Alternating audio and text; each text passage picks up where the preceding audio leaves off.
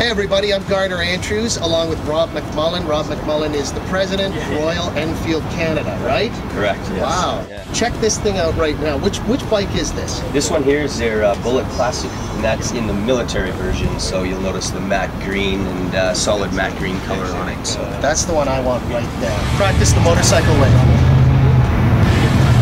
This is the bike that Sonic and CycleWorks are giving away right now. This bike is sitting in the reception area of the radio station right now.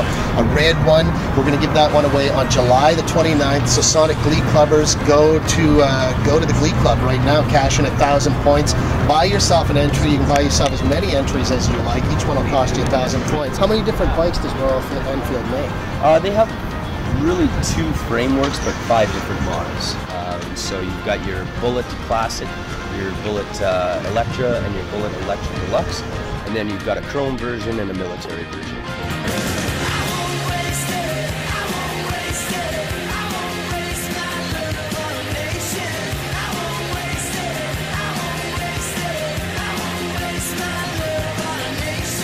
Where can we find Royal Enfield online? Uh, EnfieldMotorcycles.ca.